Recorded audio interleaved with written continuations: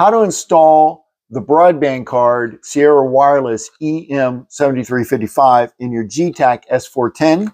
Well, the first thing, remove the hard drive and your battery, then 36 screws off the bottom, as well as the screw that holds in the SIM card slot. Remove your SIM card if you have one, but if you're installing the card, you probably don't. If you take a look here, depending on your laptop, if you have no antenna wires, you do not have a Gobi option, although you'll see the slot for the Sierra Wireless card. It would pop in here, you would screw it down and install the, the antenna wires. My model does not have the wires.